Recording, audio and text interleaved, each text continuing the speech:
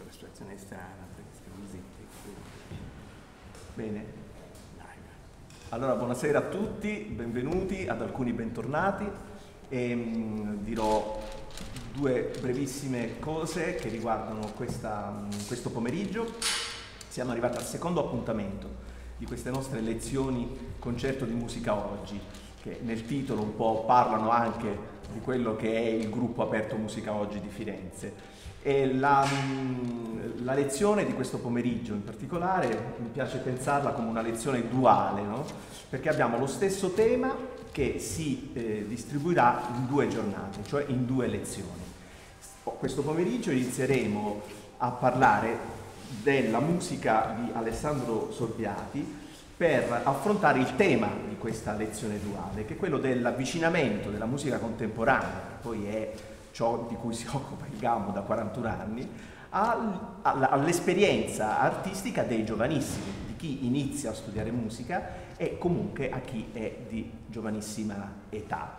E in particolare oggi pomeriggio parleremo, anzi vi parlerà Alessandro Solbiati, del suo lavoro eh, di grande interesse dal titolo Corde e martelletti, 100 piccoli studi per crescere al pianoforte, che saranno eseguiti, un estratto di questi 100 piccoli pezzi sarà eseguito dal giovanissimo Sebastia- Sebastiano Benzing, che è qui con noi, ehm, che ringraziamo tanto per la sua partecipazione, mentre domani la lezione continuerà con un approfondimento sui contenuti dei famosi Jatekok di Kurtag, eseguiti domani pomeriggio dalla giovanissima pianista Irene Accardo.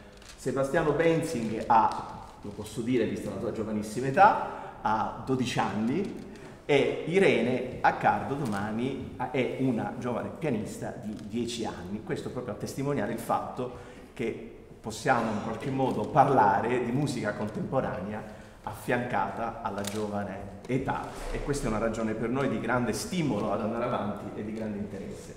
Allora lascio la parola al nostro maestro Alessandro Solviati, che ringrazio in anticipo per qualunque cosa dirà. e, e buon divertimento.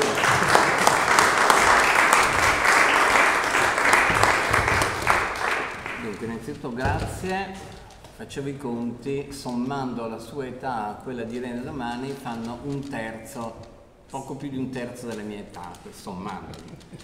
Uh, infatti è importante il fatto che il tema di queste due lezioni, oggi va bene, questi pezzi sono pezzi miei, ma il vero tema è uh, il rapporto tra il giovanissimissimo esecutore e la musica d'oggi, nel senso che tutti noi, tutti noi, siamo, da, tutti noi sia dal ruolo del compositore sia dal ruolo de, de, dell'esecutore che ha fatto tanta musica contemporanea, è una vita che ci sente dire, forse con ragione, attenzione perché se non si accorcia la distanza tra le tecniche, il pensiero, le modalità della musica recente e i giovani esecutori, attenzione che si forma una spaccatura, un vuoto, cioè eh, la giovanissima generazione non segue nell'approccio alla musica d'oggi. Eh, dico subito che però in realtà questa esperienza, altre esperienze di cui adesso dirò due parole della mia vita, mi dicono che il problema non è mai la loro generazione, Uh, il problema non è per nulla polemico dirlo un dato di fatto, sono i docenti dei giovanissimi, cioè quando tra poco parlerò di questi pezzi, dirò che questi pezzi uh, sono stati su- suonati la prima volta da 28 giovanissimi, eccetera. Co- non convincere, virgolette, non c'è stato problema di convincere nessuno, ma condurre alle tecniche, al pensiero, al suono che c'è qui dentro i giovani eh, fare questo non è costato nessun tipo di sforzo con delle sorprese straordinarie, eh, ragazzini che trovavano suoni che io stesso non immaginavo, eccetera. Le diffidenze erano quasi sempre dalla parte dei docenti, quindi attenzione che unire i fili, eh, allora, eh, se, e questa è la grande cosa di Jatekok, di Kurtag, eh, se si facesse un bel colpo di spugna sul fatto che uno incomincia subito irrigidito e inquadrato nel fatto che si incomincia con le cinque dita, eccetera, eccetera, ma se si incominciasse con un rapporto con il suono degli strumenti, con il suono, con un pensiero libero, con il suono, l'incontro col gesto, col suono, probabilmente non, molti problemi che continuano ad esserci non ci sarebbero. Um, per dire che questo, il, questo, questo argomento è sempre stato nel mio cuore, parto da una cosa un po' casuale quella, ma poi dico una che non è affatto casuale, a farlo apposta il mio primo pezzo pubblicato, ahimè, nel 1978, che per te è più o meno vicino all'unità d'Italia, grosso modo, come, come, come per te. Uh, erano sei piccoli pezzi per clarinetto e pianoforte, vincitori di un concorso di composizione destinato a giovani esecutori, cioè dove la valutazione dei pezzi era non soltanto sulla qualità dei pezzi, ma sulla loro possibilità di essere suonati da esecutori fino a un certo livello di studi. Ma quella la lascio lì perché è un po' preistoria. Invece cito come progenitore vicino, come antenato vicino di questa esperienza, una cosa indimenticabile che, che, ho fatto tra il 2011 e il 2013, per me, non so per gli altri, per me sì, tra il 2011 e il 2013, cioè a Milano esiste ne esistono anche altre, ma insomma un'orchestra che si chiama I Piccoli Pomeriggi Musicali perché sono nati sotto le luce dei pomeriggi musicali di Milano. Piccoli pomeriggi vuol dire che nessun esecutore è maggiorenne, cioè sono tutti minorenni, ma gli archi di quell'orchestra non superano i 14 anni, sono i fiati semmai che arrivano a 16-17 e eh, nel 2011 l'amico direttore, come dire, colui che fa tutto di quell'orchestra, Daniele Parziani, eh, mi chiese la trascrizione di un mio pezzo per orchestra in modo che potesse essere suonato da quei giovani. Io mi, mi, quasi mi scocciai subito perché sembra di dire mi fai una versione facilitata. Io non voglio fare versioni facilitate, voglio fare qualche cosa che sia in pieno, che rappresenti in pieno il mio modo di pensare, ma il, modo, il, il mondo del suono d'oggi, eh, consapevole di tutto quello che è successo negli ultimi 50-60 anni, modulandolo su delle potenzialità tecniche, evidentemente magari eh, un pochettino più indietro. E allora pro, controproposi un'altra cosa che, ripeto, per me è stata un'esperienza incredibile, parto dal titolo, quell'esperienza si chiamò Crescendo, guarda caso, eh, ma a crescere, come dissi più volte, non, secondo me sono stato molto più io che non i ragazzini di quell'orchestra, perché furono um, otto pezzi per l'orchestra di, di, formazione, non so chiamatela come volete, per l'orchestra di giovanissimi, ma facendo così, loro facevano una stagione al, al Teatro del Verme di Milano con una quantità di pubblico che non vi potete immaginare, un po' perché c'erano genitori, zii, eh, un po' perché mescolavano un movimento di Mozart a magari una canzone di un film di Walt Disney, naturalmente. e io un po' vivevo con loro, ne vedevo le potenzialità, i punti deboli le difficoltà, ho a scrivere un primo pezzo, siccome loro esordivano a Halloween, ho pensato volete i mostri, ve li do io, e ho dato tutte le tecniche più stramparate, suoni battuti. Faccio solo questo esempio per essere breve ed arrivare qua Quel pezzo, per mettere in scena un mostro, incominciava chiedendo agli archi di fare un suono soffiato. Suono soffiato vuol dire o suonare sul, pontic- sul ponticello o suonare con l'arco trasversale.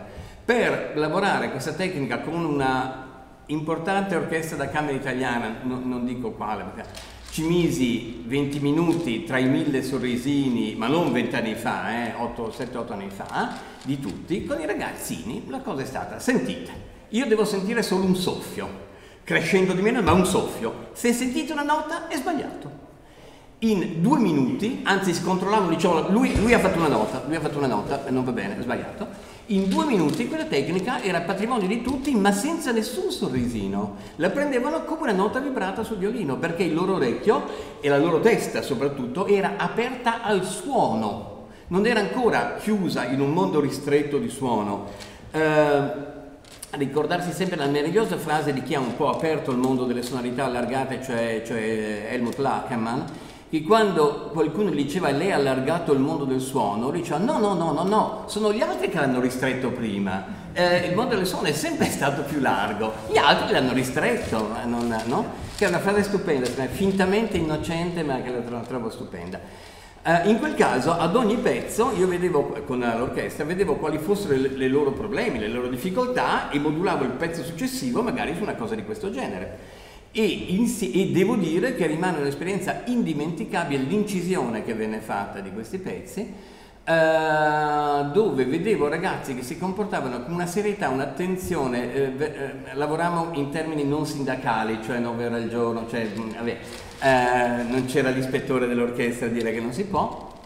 E c'era un impegno e una concentrazione che raramente ho trovato nella mia vita Uh, non è polemico contro gli altri, è una cosa bella rispetto a quei ragazzi che erano chiamati a dimostrare che loro erano capaci di fare quello che avevo scritto. Quindi era diventato una sorta di indimenticabile era il fatto che non era la, la cosiddetta fila di viole era un violista solo ed era un ragazzino che si era caricato il ruolo delle viole, delle viole, faceva la prima, la seconda e la terza, aveva una matita sulle gira su cui segnava tutto ed era implacabilmente serio, adesso tra l'altro è un signor violista che sta suonando di che cosa sono stato felice? Che quei ragazzi che hanno incontrato tutte le tecniche, i suoni, con attenzione, con delle immagini sonore, naturalmente aiutandoli a, a dar vita a, a, delle cose anche divertenti, ehm, 3, 4, 5, 6, 10 anni dopo, quando hanno avuto 23, 25, 27 anni, avevano già alle spalle una grossa esperienza per cui non si stupiscono più, no? Che è questo che vorrei da questo. Allora, arriviamo a Corde Martelletti. Eh, 2018 Devo dire, questo, quello che vi ho detto fino adesso è per dire che eh, questa non è un'esperienza che nasce in me così eh, dal nulla. È, è, sempre stata una cosa che ho, sem- ho, sempre pensato che questo sia un, non dico problema, uno stimolo della musica d'oggi, cioè riuscire a proporsi e proporsi a giovanissimi, cioè tutta la musica di tutte le epoche se prendiamo Mozart, ha saputo eh, eh, modulare il proprio pensiero senza semplificarlo. I pezzi per giovanissimi esecutori non devono essere scritti pensando che il bambino, tu non sei un bambino, che i bambini siano cretini, i bambini sono intelligenti come più di noi, eh, bisogna scrivere esattamente come scrivono gli altri pezzi, modulando semmai su una differente difficoltà tecnica, ma è un altro discorso. Sempre restando che oggi questa gente qua a 12 anni fa tutti gli studi di Chopin, quindi il fatto che, che, poi sia necessario semplificare, mm, un, un, amico grande pianista, Antonio Ballista, diceva che secondo lui c'è stata una mutazione genetica negli ultimi 50 anni, per cui in realtà ci sono valanghe di, di, di ragazzi giovanissimi che, che, non trovano difficoltà a fare delle cose mostruose, che vuol dire che forse è successo qualche cosa a livello genetico, se no non si spiegherebbe. Ok, arriviamo a questo aneddoto, però ripeto, ho, fatto, ho, detto quello che ho detto per dirvi che il retroterra di questa esperienza era già aperto, cioè era sempre stato un mio desiderio. Nel 2018, dal, forse alla fine del 2017, non ricordo, un amico, piani, eh, un amico compositore di cui, non, non, dato quello che sto per dire, non posso dire il nome, però amico compositore che io stimo moltissimo, mi chiese di presentare un'operazione che lui aveva fatto in collaborazione con altri, cioè un'operazione di una serie di, di, di un'opera, se volete, pianistica didattica destinata a giovanissimi esecutori. Data la stima che io avevo di lui, eh, dissi di sì senza nemmeno vedere la cosa che dovevo presentare. Quando la cosa dovevo presentare mi arrivò rimasi molto perplesso perché tutta l'impalcatura, l'impalcatura di presentazione grafica era bellissima, ma i pezzi sembravano, per, chi, per, chi, per i pianisti presenti, sembravano rossomandi, cioè sembravano delle, dei pezzettini di, di fine 800, inizio 900, dai, ma non posso neanche dire Prokofiev perché non era vero. Eh, cioè, secondo me non, non, svolgevano il compito che bisognava svolgere, cioè proporre quello che è successo nel pianoforte e nella musica e nel pensiero musicale negli ultimi 50 anni. Naturalmente durante la presentazione, se siete chiamati a presentare una cosa e per di più un amico che ve lo chiede, anche se quella cosa vi ha deluso profondamente, non è che ne parlate male, perché ormai è fatta, e quindi dissi il meglio che un po' arrampicandomi così dissi meglio. A, quel concerto, a quella presentazione era presente la grande amica e vera sacerdotessa vestale della, del pianismo e della musica contemporanea che è Maria Grazia Bellocchio eh, fantastica per tutto quello che volete voi, quando c'era un piccolo rinfresco dopo questa presentazione e la vidi con una faccia durissima. E mi è venuta vicino e mi ha detto e tu hai parlato bene di quella cosa lì? Dico, eh, ma ragazzi, sì, ma una volta che uno accetta di presentare non è che poi parla mai. E ha cominciato a dire in tutti dicendo sì, comunque continua a essere che voi compositori non vi rendete conto che fino a quando non fate qualche cosa che porti le tecniche di oggi, eh, voi vi lamentate, ma se non fate questo eh, andrà avanti. E me l'ha detto in modo così aggressivo, tra l'altro un po' in pubblico, che ho cominciato a arretrare e ho detto va bene, lo faccio. Lei è rimasta un po' sorpresa e mi ha detto come lo fai? Vabbè, se me lo dici in questo modo, lo faccio. Uh, io a quel punto io ho pensato farlo non vuol dire fare tre piccoli pezzi eh, proprio un contentino se si fa si fa e sono nati questi 100 eh, pezzi di circa un minuto ciascuno. Eh, non sono progressivi come difficoltà, sono divisi in tre libri perché Sunini Zeboni mi ha fatto notare che se diventava una roba così, così quantomeno sono pubblicati in tre cose diverse, eccetera. Um, come, um, come, sono pensati, come sono nati, come mia, mia moglie sa, c'è stato un momento nella primavera del 2018 in cui ero quasi invasato, cioè praticamente ne scrivevo uno al giorno, prendevo un taccuino, scrivevo varie idee da utilizzare e, e poi le, le, le, facevo tutte. Poi era come una, potevo andare avanti fino a 200, credo, mi aveva preso l'anima questa cosa. Um, di questi 100 pezzi, come, come, fat, come, sono fatti, non è che devo fare una presentazione editoriale, ma vi devo dire come è stata pensata l'operazione. Uh, ripeto, non sono in ordine progressivo di difficoltà, sì è perfettamente vero che i primi sono, i primissimi sono effettivamente più semplici, e probabilmente gli ultimissimi sono un po' più complessi, ma la, no, no, non è un percorso così, è un percorso assolutamente oscillatorio. Diciamo più importante che circa il 50% sono, virgolette, normalmente, utilizzano norm, normalmente solo la tastiera del pianoforte, ma facendo delle richieste, posso farvi un paio di esempi, che la musica diciamo, storica eh, pone meno e che invece la musica recente pone di più. Ad esempio, se io faccio fare dei blocchi accordali eh, cambiando dinamica ad ogni accordo, ma moltissimo, cioè pianissimo, forte, mezzo forte, mezzo piano, fortissimo, eccetera. Questo non fa parte del bagaglio eh, pianistico eh, dell'Ottocento a quel livello. È un esempio banale, ma serve per capire cosa intendo per eh, l'uso dei pedali, eh, suonare con dinamiche differentissime le due mani, eh, passare rapidissimamente da un tipo di gesto a un altro gesto o da un metronomo a un altro metronomo. Sono tutte richieste normalmente in tastiera ma che non fanno parte della tradizione ottocentesca inizio novecentesca, diciamo.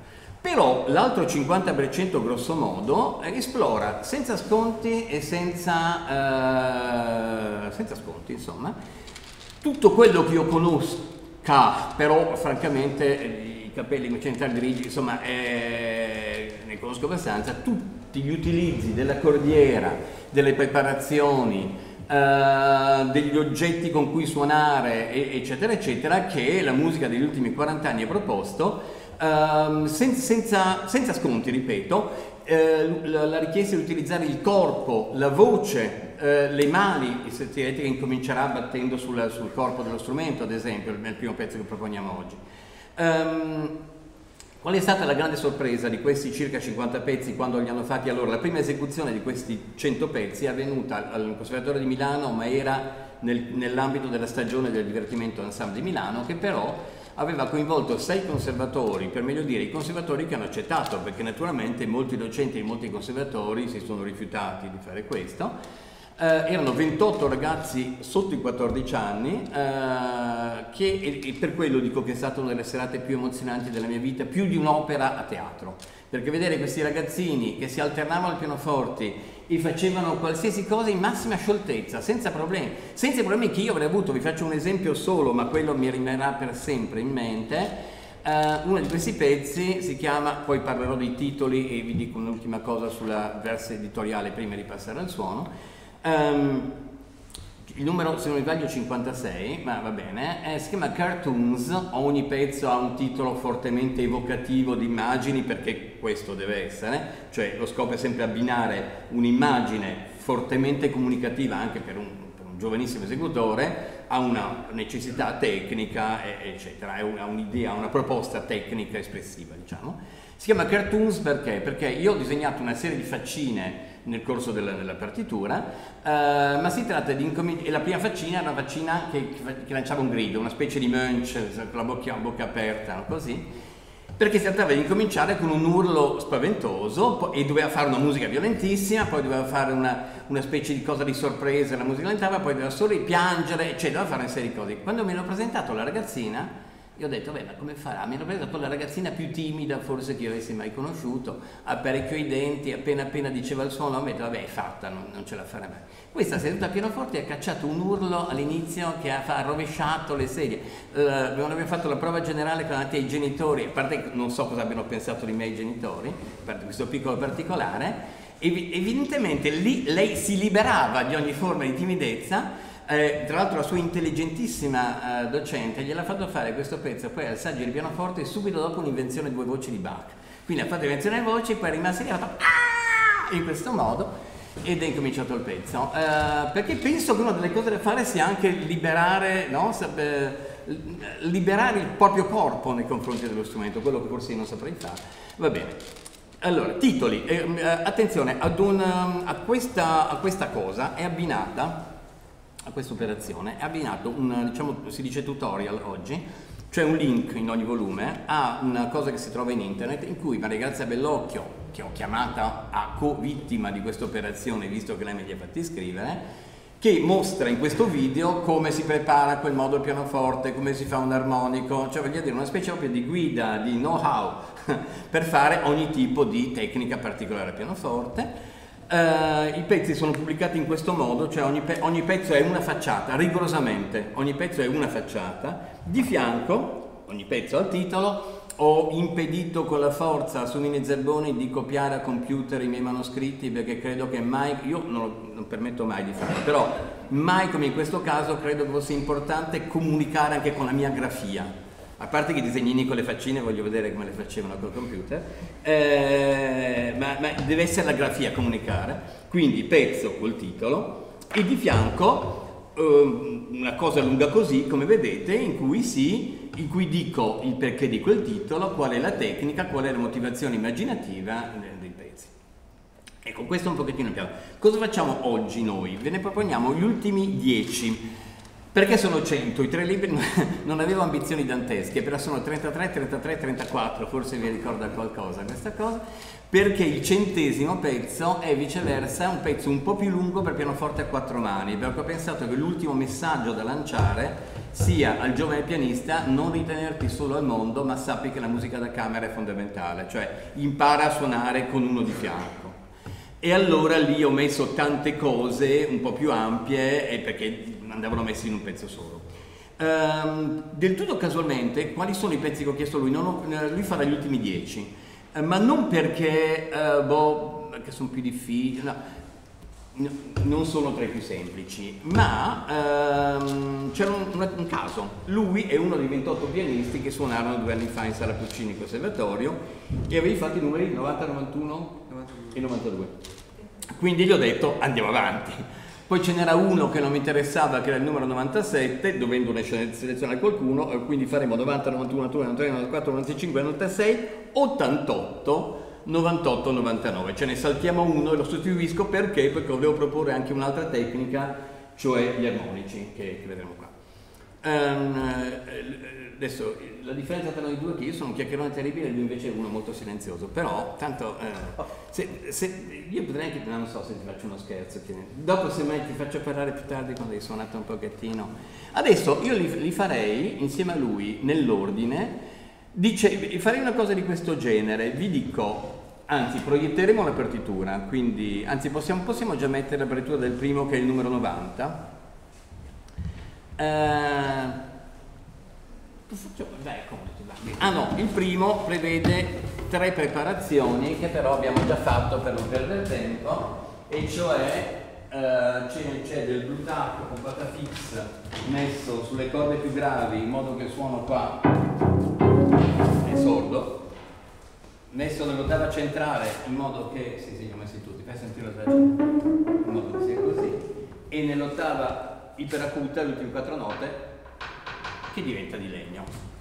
Ho un ritmo in testa, cosa vuol dire? Vi leggo, vi leggo non, non, sto a, vi leggo la presentazione che ne ho fatto, cioè un medesimo ossessivo ritmo, fai, fai la prima battuta. Volendo naturalmente i tre accendi, cioè yam, pa pam, pa pa. Eh, un medesimo ossessivo ritmo, un pattern della durata di 6 quarti, meno di 4 secondi a questo metronomo, si ripete 16 volte, iniziando con il suono percussivo del bordo del pianoforte. La conquista del mondo delle note è progressivo, è come una serie di variazioni, cioè perché ad ogni pattern si ca- cambia qualche cosa. Eh, la conquista del mondo delle note è progressivo perché quando si passa in tastiera ci si imbatte nel suono stoppato con blue tap o patafix della regione acutissima e gravissima in entrambi i casi le note sono assai poco percepibili, quindi sono abbastanza affini al battuto che ha fatto lui in partenza lì. Uh, ma poco a poco il suono normale, tra virgolette, del pianoforte e le sue armonie si rivelano culminando nella dolce melodia accompagnata della dodicesima e tredicesima battuta, che sono queste qui due qua, che sono delle melodie, però se guardate la parte superiore fa tam, tam, tam, tam, tam, e le, le, le crome in basso riempiono, riempiono i buchi sostanzialmente. Uh, però a quel punto si scopre che anche il registro centrale che ho sempre evitato perché ho sempre suonato ai lati era preparato per, scusate, eh, si scopre che anche il registro centrale preparato il suono percussivo riprende il sopravvento e si ritorna sul bordo del pianoforte nell'ultima battuta il ritmo, eh, il ritmo sia sempre preciso e riconoscibile al di là delle varianti articolative e sonore. Qual era il mio scopo, oltre al fatto di, eh, eh, di sentire il suono preparato, eccetera, eccetera? Quello di chiedere a chi suona di saper cambiare musica ogni tre secondi, perché il ritmo è sempre lo stesso, ma di fatto sono tutte variazioni velo- che velocissimamente si susseguono fino a un carattere eh, prefinale totalmente differente fino a un richiudersi. Adesso lo facciamo una volta perché semmai ci fermiamo anche un attimo. Grazie.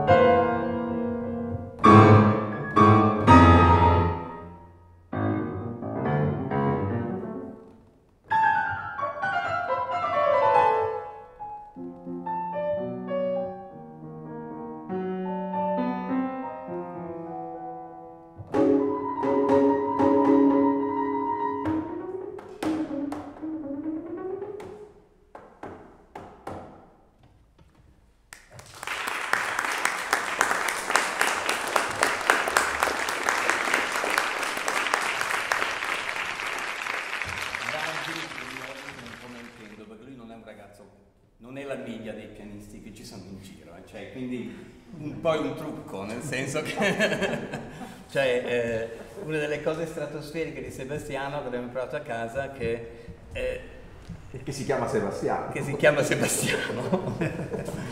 E che lui non parla però dicendogli una cosa ti guarda e la fa subito. Eh, ti guarda e non hai capito se l'ha capita ma la fa immediatamente. Quindi vabbè non, non vale insomma. Però posso chiedertelo, uh, qual è stato l'approccio? Mi hai detestato? Quando... Non adesso, due anni fa, quando... Puoi dirlo? Mm, no.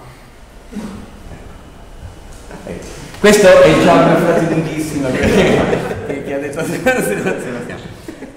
per noi, per Emanuela, eh, mia moglie era sua docente di musica alla Camera e le telefonate con Sebastiano sono favolose perché questo sono il tipo di risposte che, che riconosciamo. però finché suona così va, va benissimo. Uh, beh, andiamo se, dunque, no, non so se alla fine, no, purtroppo non possono essere eseguiti, questi 100 pezzi non sono fatti per essere eseguiti da capo a fondo, eh, perché? Perché se no ci vorrebbe ogni volta il tempo di mettere, togliere preparazioni, fare delle cose. Quando li abbiamo fatti in Sala Puccini a Milano, con geniale idea non mia ma dei miei ragazzi a Bellocchio, abbiamo usato due pianoforti in modo che se c'era un cambiamento da fare da una parte o dall'altra, mentre veniva fatto il cambiamento da una parte, suonavamo dei pezzi dall'altra parte, poi si evitava di vedere io non volevo si vedesse una specie di saggio con il ragazzino che sale, scende, sale, scende. Si vedeva una continuità, tanto dall'altra parte si faceva un lavoro. Quindi quello che possiamo fare è farne sentire più di uno per volta, eh, lo faremo. Magari adesso per, per pura... Anzi no, adesso sul primo lo faccio, te lo richiedo. Lo sai, lo fai ancora questo. Grazie.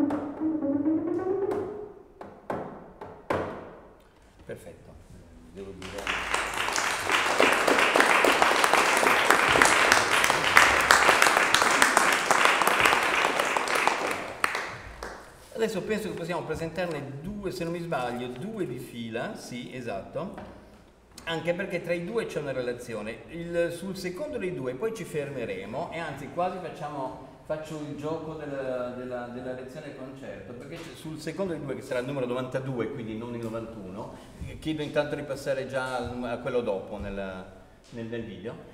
Eh, c'è una cosa che forse è un po' utopica da parte mia, perché non è chiaro come farla sentire davvero. Allora, partiamo dal numero 91. Il numero 91 è normalmente, non banalmente, ma normalmente in tastiera, si chiama foglie morte, foglie morte, Ehm, vi leggo la presentazione e poi vi faccio vedere una cosa in partitura. Il, cito, il, il titolo cita Debussy, secondo preludio del secondo libro, oppure Yves Montand.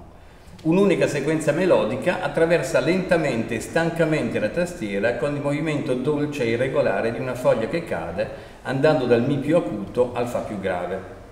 Ogni nota melodica lascia delle tracce, due tipi di tracce, una reverberazione ottavante che può provenire da ogni punto della tastiera, oppure una terza minore, anch'essa disposta ovunque nel registro e che, poi questo spieghiamo, e che sfiora, tra virgolette, semitonalmente la nota melodica. Le mani del pianista vaghino sulla tastiera senza mai perdere di vista però il fil rouge conduttore, la sequenza melodica che scivola verso il grave. Ora, dal punto di vista, apparentemente è una partitura normalissima sul piano, eh, diciamo, tradizionale, però la cosa difficile, voi vedete che sopra c'è una legatura che fa capire che sono delle frasi, non so se dipende dalla distanza, io leggo le note da qua ma voi non so, eh, si inizia con una nota, scusa puoi far dire solo la frase, la, solo la frase melodica di tutto il pezzo, senza fare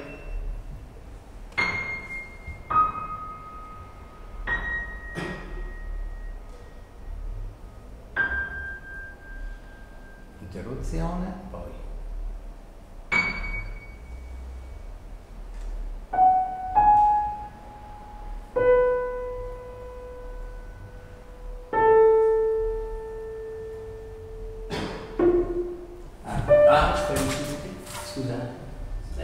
aspetta un attimo, se no adesso sentite una serie di, di cose che non si devono sentire.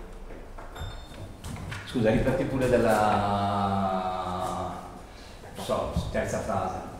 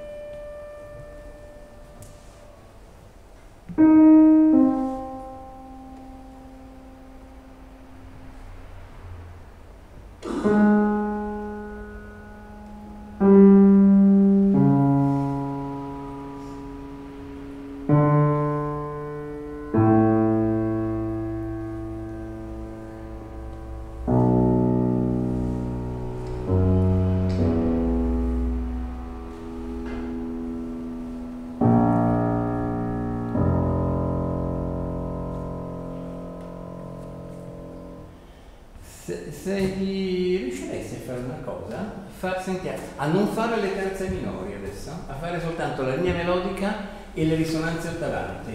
Naturalmente la richiesta è che la sequenza melodica deve essere molto più evidente delle risonanze ottavanti che devono essere pianissimissimo.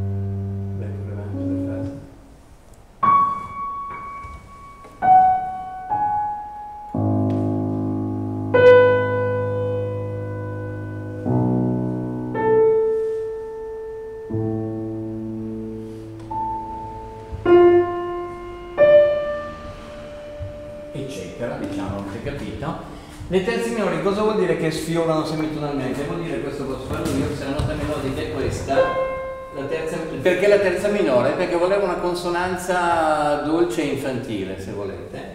Se questa è la nota melodica, la terza minore lei è sempre in tono, è così. Vuoi così? Vuoi così?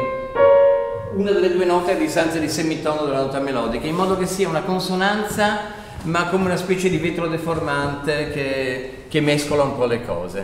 Però la cosa importante è che uno dall'inizio alla fine della pagina senta sempre questa foglia che cade melodica e che tutto il resto, o riverberando quella nota, o facendo una dolce terza minore un po' sghemba, avvolge questa sequenza che però è la protagonista. Grazie.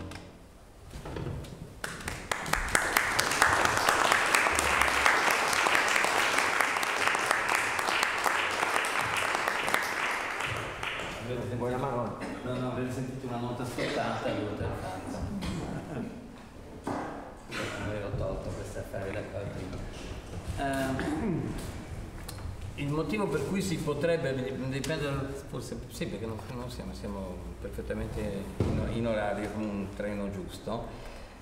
Pezzo, dopo ti chiederò una cosa, di risuonare consecutivamente 91 e 92, perché il numero 92, come dice, mi, mi può passare a quella dopo?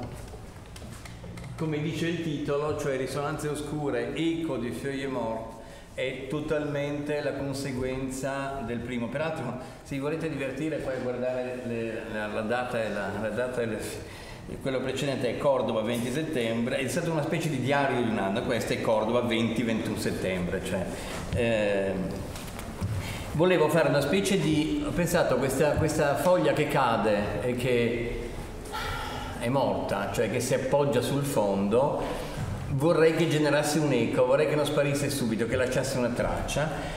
Uh, prima vi, che, vi, leggo quello che ho scritto, poi vi dico qual è la difficoltà tecnica, che però secondo me è una difficoltà tecnica in un certo senso che è un problema aperto, nel senso che non so se posso effettivamente ottenere quello che penso. Io ho scritto un breve brano quasi la naturale conseguenza, più che l'eco, ecco una conseguenza, del brano precedente i rituali, i profondi rintocchi ripizzicati sulle corde oscure. La mano sinistra che vedete non è da suonarsi in tastiera, è sempre da suonarsi in cordiera pizzicando le corde. Eh, rituali, profondi rintocchi ripizzicati sulle corde oscure che ruotano attorno al fa grave, fa grave d'arrivo era quello d'arrivo del numero 91, sembrano essere la voce stessa di quella foglia caduta gli accordi in secondo piano che sincronicamente scaturiscono dalla tastiera avendo come nota più virgolette acuta l'ottava, l'ottavazione del pizzicato scuro ne costituiscono la naturale riverberazione armonica. Qual è il problema tecnico? Allora, intanto cosa fai? Forse abbassi uh, intanto, intanto uh, Sebastiano ha le braccia piuttosto lunghe cioè è più alto di me, non so, da 5 anni. Ehm, vuoi che ti tolga quello sotto? Ah, Eh, e può suonare questo brano seduto, perché la mano sinistra deve pizzicare qua giù e la mano destra deve fare accordi qua. Non tutti per forza ci arriverebbero, quindi qualcuno potrebbe anche dover suonare in piedi questo pezzo. La cosa difficile è riuscire, voi provate, provate e poi anche provarci. Si tratta di pizzicare piuttosto forte lì, perché se no la sonorità non regge l'accordo, e nel contempo appoggiare pianissimo l'accordo della mano destra. Cioè nella mia testa è il pizzicato il soggetto, perché è l'eco o è l'alone di quel fa grave della foglia morta di prima. Ehm, e gli accordi devono essere pianissimi, ma molto, io non sono capace di pizzicare forte qua e nel contempo di appoggiare pianissimo la mano destra. Uh, io spero sempre che ci riescano gli altri, ma io non, non sono capace. Tra l'altro bisogna trovare la nota giusta, come si fa in questi casi? Naturalmente insieme abbiamo messo sugli smorzatori degli adesivi con scritto il nome della nota per sapere dove, dove pizzicare. Uh, forse Facciamo una cosa, facciamo l'esecuzione consecutiva di 91 e 92, eh? cioè rifai 91 e poi facciamo 92 a basileggio e... Grazie. Te lo porto via io.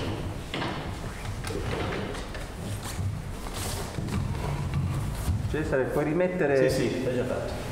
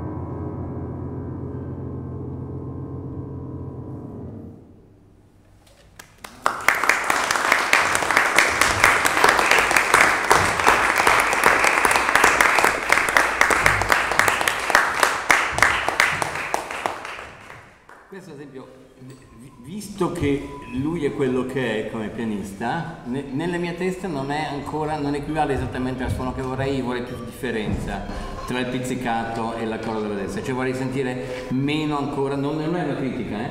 non so se si può, perché in realtà perché per far sentire molto a sinistra bisogna quasi strappare un po' la corda e in quel momento sincronicamente suonare pianissimo Beh, eh, altro che il grado di difficoltà per i giovani esecutori quello, eh, oggettivamente. Quindi bravissimo, eh, non, non era, era, una critica a me stesso, nel senso che non so se è possibile. Per rilassarsi pianisticamente il pezzo dopo, che si chiama Sisifo, possiamo passare a quello dopo, è invece, per una volta, tranquillamente, virgolette, tranquillamente pianistico. Sisifo sapete benissimo chi era, era quello che spingeva il poverino su una pietra, una pietra, la pietra arrivava in cima e crollava, forse il disegno stesso vi dice che ci sono dei crolli, tre per la precisione. Um, quelle, in questo caso allora io cosa chiedo semplicemente? Ero un po' uh, nelle mie orecchie, no, forse posso leggervi per quello che ho scritto, c'è un gesto zoppo, questo turu, turu, turu della mano, perché il, bicordo, il primo bicordo contiene il secondo, il bicordo in battere contiene quello in levare, come una mano che avanzi così, insomma. Però c'era quell'idea che viene un po' dagli studi di Ligeti del sentire un salire sempre che non sale mai, perché quando comincia a salire una mano l'altra prende dal basso e si cerca sempre di salire fino a quando c'è il crollo. E l'altra difficoltà per chi suona viene naturale salendo crescere. Invece io chiedo, questo è, sto dicendolo a voi così mi sente anche lui, eh, le salite devono essere implacabilmente con la stessa dinamica e il crollo deve essere improvviso perché questa pietra non è che preannuncia il crollo, a un certo punto viene giù semplicemente. Vi leggo per completezza, terribile mito quello di Sisifo, condannato dagli dei a spingere perennemente una pietra dalla base alla cima di un monte sapendo che essa sarebbe inesorabilmente riprecipitata al punto di partenza. Viene in mente il notte e giorno faticar di Leporello nel Don Giovanni Mozartiano, preso prestito dal Beethoven nelle sue variazioni su un tema di Diabelli, a significare la fatica quotidiana e sempre nuova del comporre, parentesi, e del suonare uno strumento. Ed infatti questo brano ha un po' sapore di uno studio. Ogni mano cammina un po' zoppa sulla tastiera, con un'articolazione di doppie note, il secondo bicordo è sempre contenuto nel primo, che globalmente disegnano percorsi scalari ascendenti e accavallati destinati a riprecipitare inevitabilmente nel grave da cui vengono. Una piccola ironia sulla fatica dell'arte che spero costituisca un momento di crescita tecnica del giovane pianista. A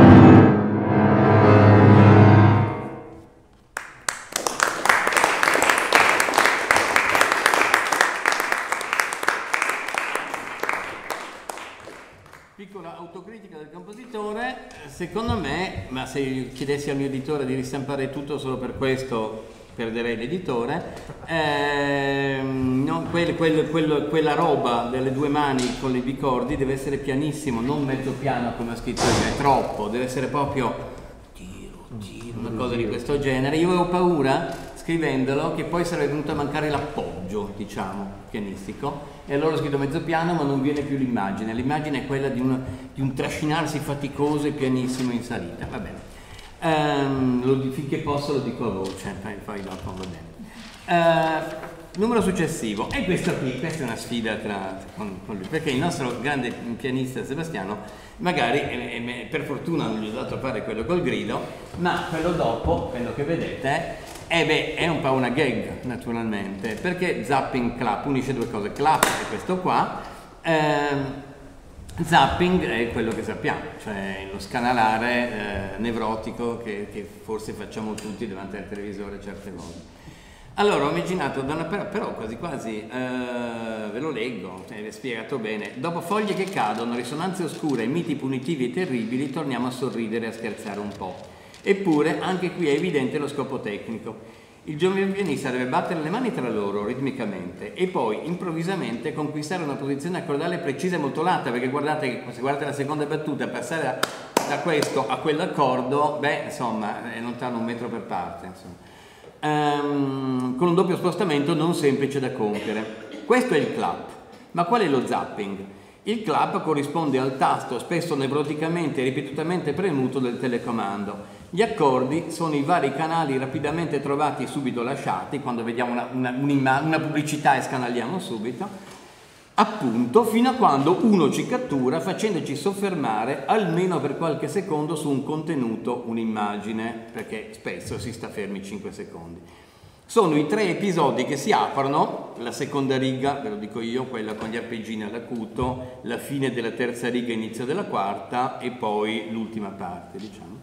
Um, sono i tre episodi che si aprono nel brano, uno simultaneamente acuto e gravissimo, grazie, sì, come gli accordi precedenti, perché ho pensato, visto che le mani erano lì per fare questi accordi, rendiamo episodio, però diventa una cosa dove c'è una distanza di 6 ottave tra le due mani eh, è come se fosse leggermente danzante ma appoggiato a un basso profondissimo, insomma.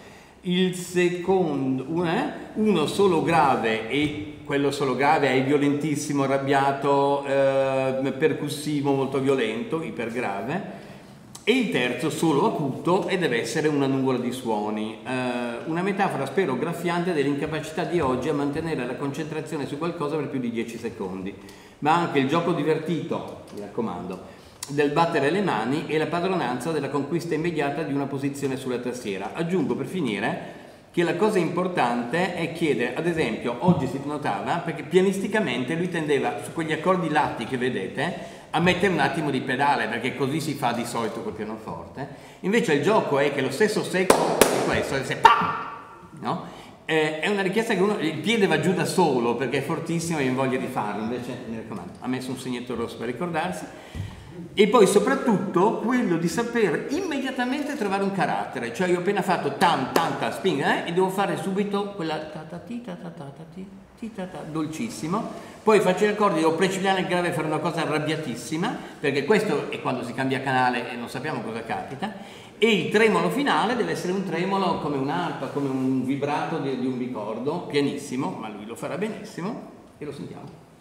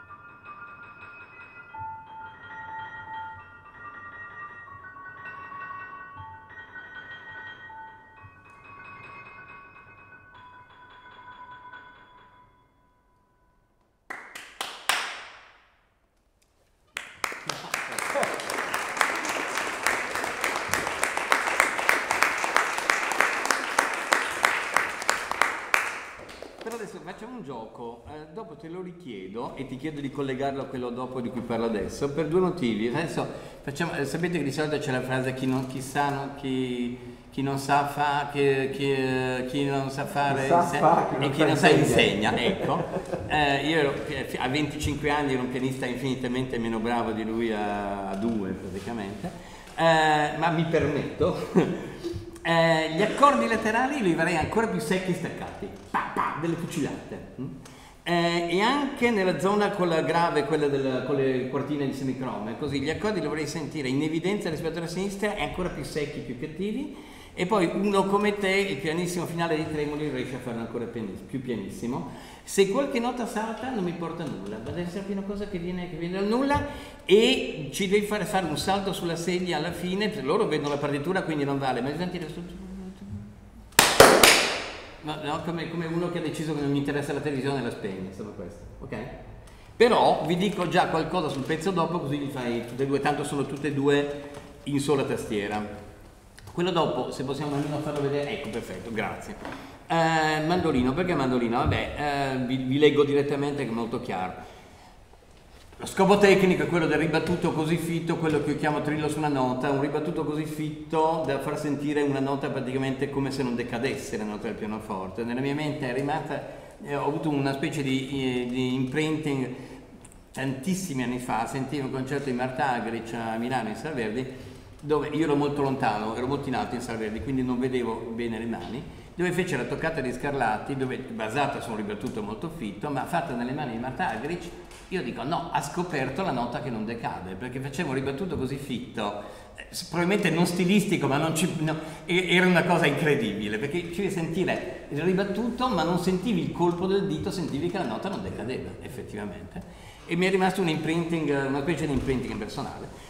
Eh, ho scritto, nessuno strumento più del mandolino richiede un grande sforzo per, virgolette, mettere in scena una nota tenuta e quindi per costruire una sequenza melodica. La sua risonanza è così corta che il ribattuto è inevitabile e idiomatico. Ed ecco dunque la medesima richiesta fatta al pianoforte, che però si può avvalere dell'aiuto del pedale. Costruire una sequenza melodica, il brano è per lo più monodico, di note tenute, tra virgolette, mediante un veloce ribattuto per il quale si richiede anche una certa regolarità, cioè non devo sentire spara bara bara bene bene bene, cioè mandolino sì, ma qui no.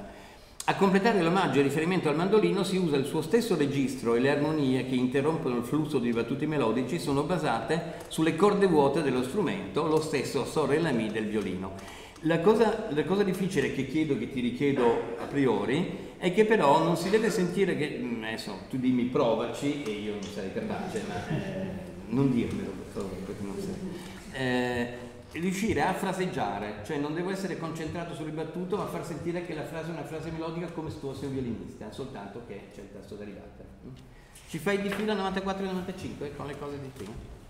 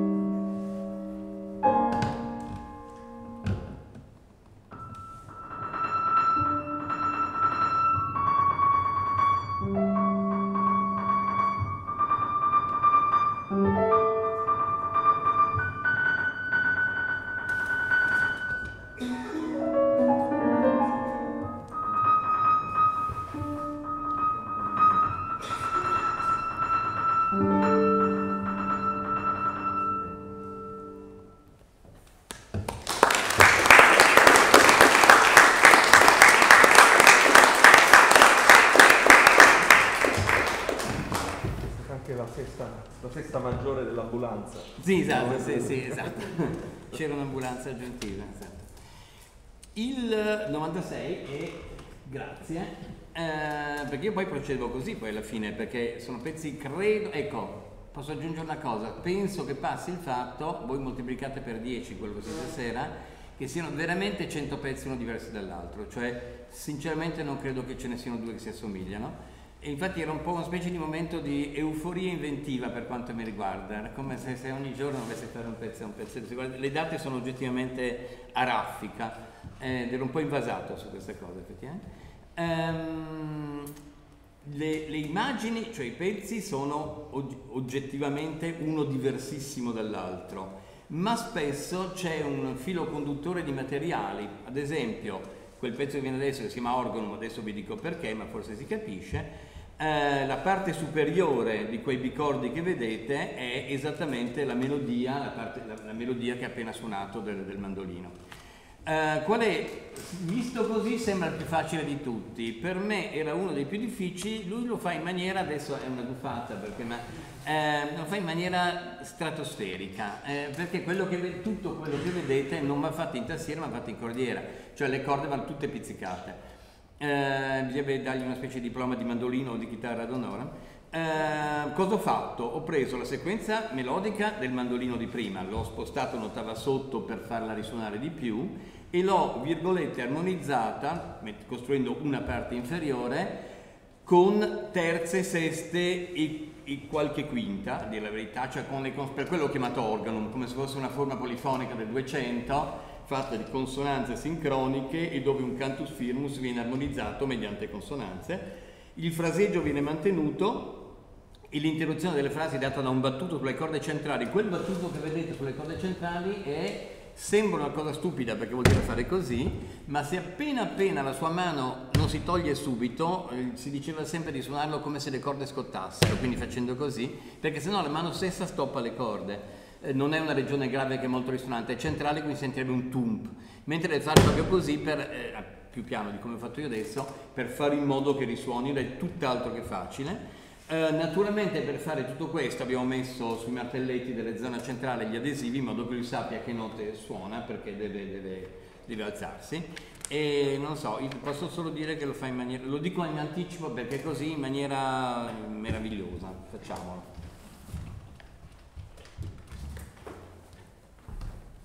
Ah, scusa.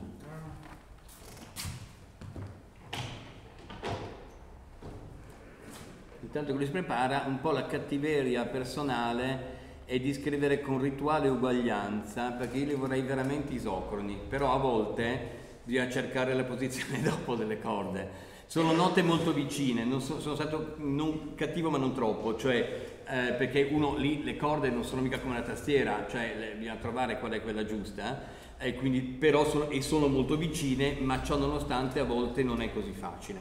Grazie.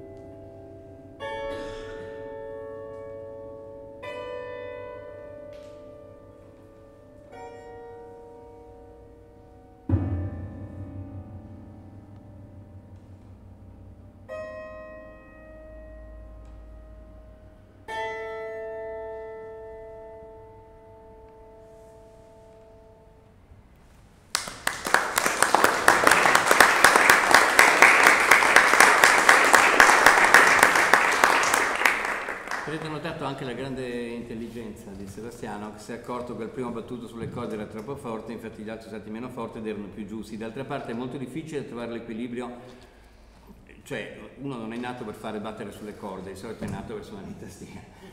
Quindi trovare l'equilibrio tra un colpo che faccia risuonare, che non stoppi, è, è, è, è molto complesso. Quindi complimenti perché l'hai dosato durante il pezzo in maniera, in maniera meravigliosa dal punto di vista mio naturalmente c'è stato, se vi guardate non ci sono mai due intervalli uguali e consecutivi perché volevo che la nota, la parte inferiore, come si faceva nel contrappunto, della nota contro nota, disegni un'altra sequenza melodica perché gli, gli intervalli divaricano, si stringono eccetera eccetera perché non volevo ripetitività o parallelismo, insomma il finale in quinta vuota è un omaggio al, al suono antico. Al suono.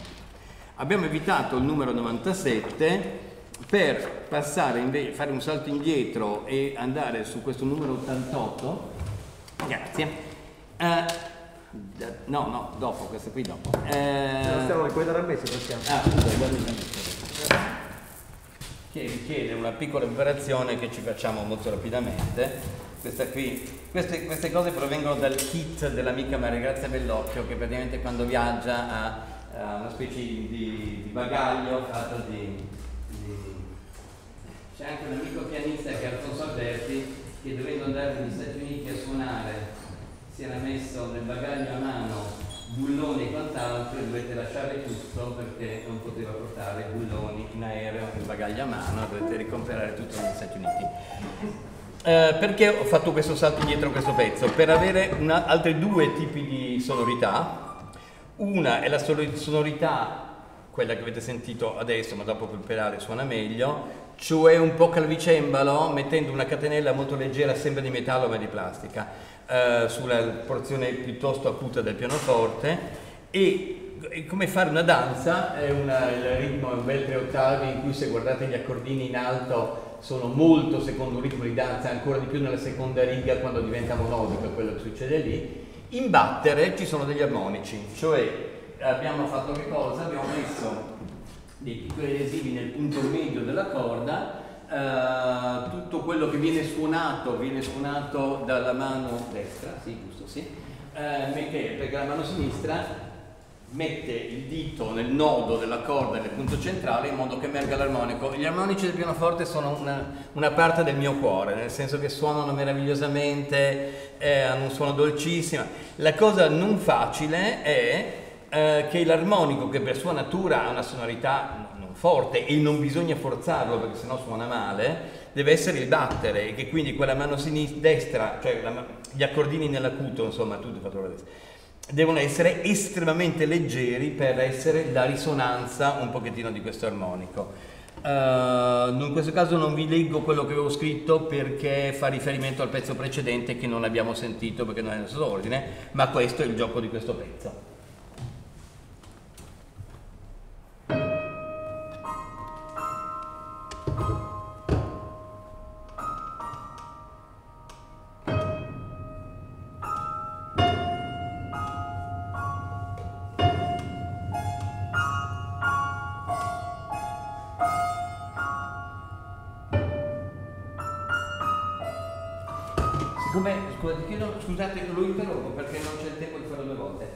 Leggermente più veloce? Perché io vorrei sentire un po' in uno la battuta, non, non troppo ferma l'ottavo. Scusate, ma per non farlo due volte.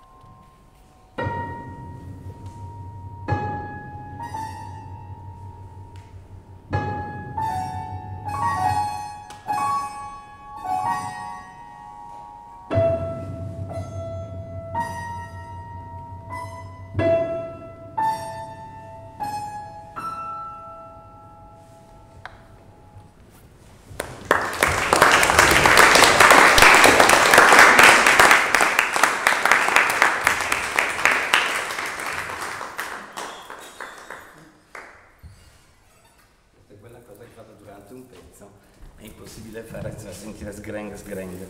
Così. Penultimo e ultimo. Uh, si possono fare simultaneamente? No, perché c'è l'ultimo richiede questa cosa qua. Va bene, separiamo. Uh, penultimo, ad lucem, quello lì. Um, vi leggo banalmente. Il mio dodicesimo interludio, io ho scritto 12, 16 pezzi brevi per pianoforte che si chiamano interludi, incominciava proprio così, con un soffio oscuro e imperscrutabile, questo, dal quale scaturiva un ritmo di marcia funebre che imprigionava l'intero brano. Era dovuto a un omaggio a un evento spaventoso avvenuto in quel, in quel periodo. Qui invece quel soffio e quel ritmo generano una sequenza melodica coraggiosamente ascendente che si protende alla ricerca di uno sbocco luminoso come le mani tese verso l'alto di un'invocazione di una preghiera. Si tratta in un certo senso del simbolico modo contrario della discesa melodica di Feuille Morte, con tracce dei ribattuti di mandolino che trova il proprio punto d'arrivo nel luminoso accordo finale di terze che si stringe sul Si più acuto, che è l'ultima nota. Uh, la richiesta importante a Sebastiano è di ricordarsi che quella sequenza melodica che nasce, che questo soffio è, rimane, è sempre nel piano e le sue cercature sono velocissime e che invece la sequenza melodica non solo sale, ma questa volta, a differenza di altri pezzi, sale ed emerge anche dinamicamente e che le acciaccature della sequenza melodica non devono essere nervose, ma sono lo slancio della sequenza stessa.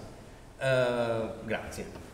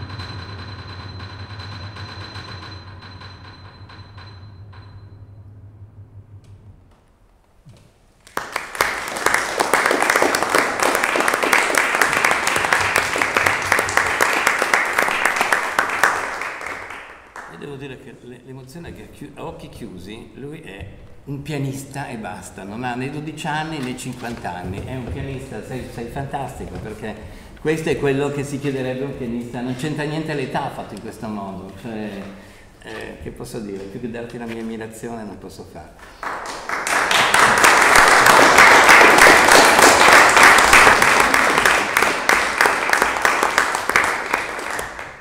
Allora, l'ultimo pezzo, eh, 99, l'ultimo pezzo di stasera, ma anche l'ultimo pezzo dei, dei 99 pezzi per pianoforte. Effettivamente mi sentivo, arrivato al 99esimo, boccheggiavo un pochettino, perché effettivamente... Eh, in tutti e tre i libri, primo, secondo, terzo libro, l'ultimo dei pezzi è diciamo in forma di variazione un pochettino, o quanto, negli altri casi proprio in forma di variazione. In questo caso, più che essere in forma di variazione, riunisce alcune delle tecniche utilizzate nel corso dei pezzi come una specie di riassunto finale aggiungendo una cosa nuova che è questa.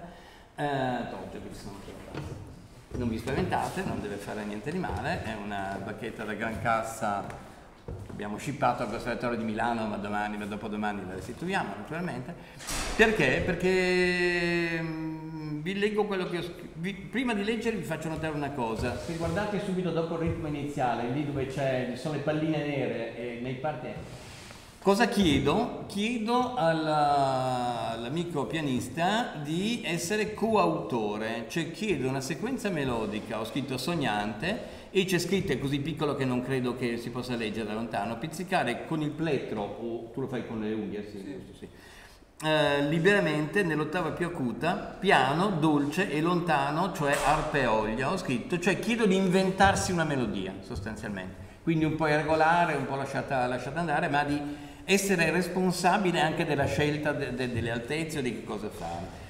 Um, Siamo giunti in fondo a questo lungo percorso pianistico prima di proporre l'appendice di, di, un più ampio brano per pianoforte a quattro mani che suggerisca l'importanza enorme del suonare insieme, simbolo stesso della crescita e del lavoro comune ed anche dell'amicizia.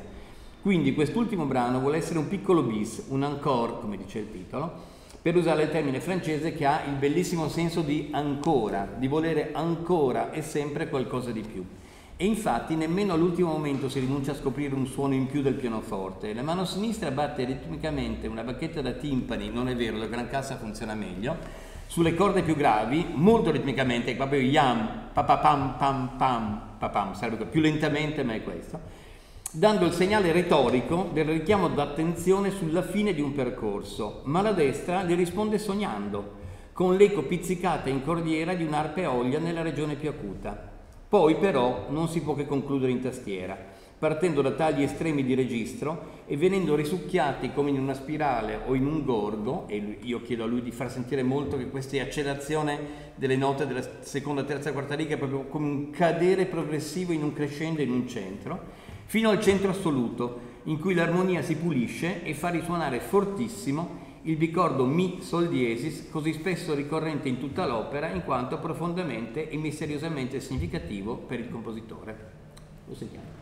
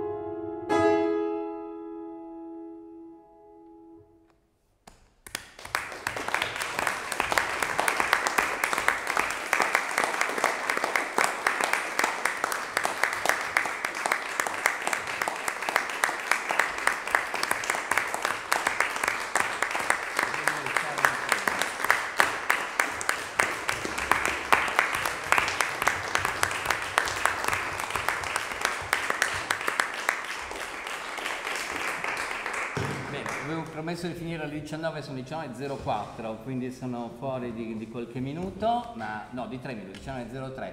Uh, Bravo l'autore. Cosa? Bravo.